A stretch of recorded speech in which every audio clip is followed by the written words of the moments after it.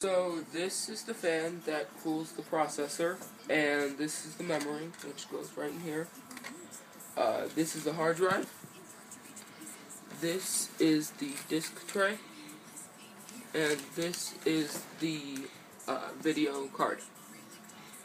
This is called the tower. And so when all the parts are put together, you have a running, working computer.